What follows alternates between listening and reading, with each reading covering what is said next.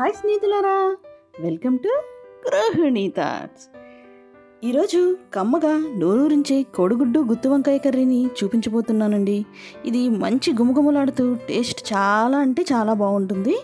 కోడిగుడ్డు గుత్తి వంకాయ కూర చేయడం పెద్ద ప్రాసెస్ ఏం కాదండి. ఇలా ఈ కర్రీని ఒకసారి ట్రై చేసి చూడండి. ఇంట్లో వారందరూ కమ్మగా కడుపు నిండా భోజనం చేస్తారు. చాలా బాగుంటుంది. మరి లేట్ ఎందుకు ప్రాసెస్లోకి వెళ్ళిపోదాం. ముందుగా ఆయిల్ వేసి ఉడకబెట్టిన కోడిగుడ్లని ఫ్రై చేసి పక్కకు తీసుకోవాలి. తర్వాత దానిలోకి మూడు సన్నగా కట్ చేసిన ఉల్లిపాయ ముక్కల్ని ఆరు పచ్చిమిర్చిని పొడవుగా కట్ చేసి వేసుకోవాలి. అవి లైట్ గోల్డెన్ బ్రౌన్ కలర్లోకి వచ్చేంత వరకు ఫ్రై చేసుకుని దాంట్లో ఒక రెండు టమాటాలని సన్నగా కట్ చేసుకుని యాడ్ చేసుకుని ఇవి సాఫ్ట్గా కుక్ అయ్యేంత వరకు ఫ్రై చేసుకోవాలి. ఇదిగోండి టమాటా కొంచెం సాఫ్ట్గా కుక్ అయిన తర్వాత పొడవుగా ఉండే వంకాయల్ని ఇలాగా కట్ చేసుకొని గుత్తి వంకాయల్లాగా దీంట్లో యాడ్ చేసుకోవాలి. ఈ వంకాయల్ని నూనెలో బాగా మగ్గనివ్వాలి. ఇలా వంకాయలు వేసిన తర్వాత ఒకసారి మిక్స్ చేసుకుని ఇలా మూత పెట్టి వంకాయలు ఆయిల్లో ఒక టూ టు త్రీ మినిట్స్ బాగా ఫ్రై అయ్యే వరకు ఫ్రై చేసుకోవాలి.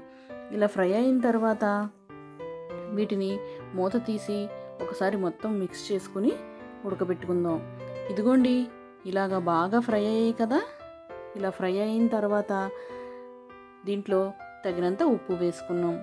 ఉప్పు వేసుకున్న తర్వాత దీంట్లో కొంచెం ఒక పావు టేబుల్ స్పూన్ అంత పసుపును కూడా యాడ్ చేసుకొని మొత్తం ఒకసారి మిక్స్ చేసుకొని దీంట్లో రెండు టేబుల్ స్పూన్ల కారమును కూడా యాడ్ చేసుకున్నాం. ఈ కారం మన కర్రీలో బాగా కలిసే వరకు ఒకసారి మొత్తం ఇలాగా మిక్స్ చేసుకుందాం. ఇలా మిక్స్ చేసుకున్న తర్వాత ఒక పావు లీటర్ వాటర్ని దీంట్లో యాడ్ చేసుకుందాం. ఈ కూరకి ముందుగానే కొంచెం చింతపండు అనేది నానబెట్టుకుని ఉంచాలి. ఇప్పుడు ఈ వాటర్ వేసాం కదా హండ్రెడ్ ఎంఎల్ వాటర్. మూత పెట్టి అవి కొంచెం దగ్గరగా మరిగే వరకు ఉడికించుకుందాం. ఇదిగోండి బాగా వాటర్ అనేది పైకి కిందకి మరుగుతూ ఉంది కదా. ఈ టైంలో చింతపండు రసంని తీసుకొని ఆ రసం దీంట్లో యాడ్ చేయాలి. ఇలా యాడ్ చేసిన తర్వాత ఈ కూరని మొత్తం ఒకసారి మిక్స్ చేసుకుని దీనిలో ఉడకబెట్టి ఆల్రెడీ మనం ఫ్రై చేసి పక్కన పెట్టుకున్నాం కదా ఆ కోడిగుడ్లను కూడా వేసేయాలి. వేసేసి మొత్తం ఒకసారి మిక్స్ చేసుకుందాం. ఇలా మిక్స్ చేసేసుకున్నాం కదా? మిక్స్ చేసేసుకుని మూత పెట్టి ఈ కూర కొంచెం దగ్గరగా అయ్యేంత వరకు ఉడికించుకోవాలి. చూడండి. మనం వేసిన చింతపండు రసం అనేది పచ్చివాసన పోయి దాంట్లో ఆ చింతపండు పచ్చివాసన అంతా పోయే వరకు ఉడికించుకోవాలి.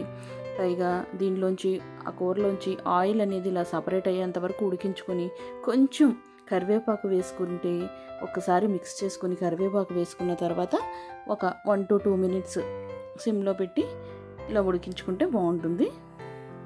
ఇలా ఉడికించుకుని ఈ ఆయిల్ సపరేట్ అయిన తర్వాత దీన్ని స్టవ్ ఆఫ్ చేసుకుంటే మనకి ఈ కోడిగుడ్డు గుత్తి వంకాయ కూర అనేది రెడీ అయిపోతుంది. చాలా టేస్ట్గా ఉంటుంది. నచ్చితే లైక్ చేయండి షేర్ చేయండి సబ్స్క్రైబ్ చేయండి ఫ్రెండ్స్. Bye bye.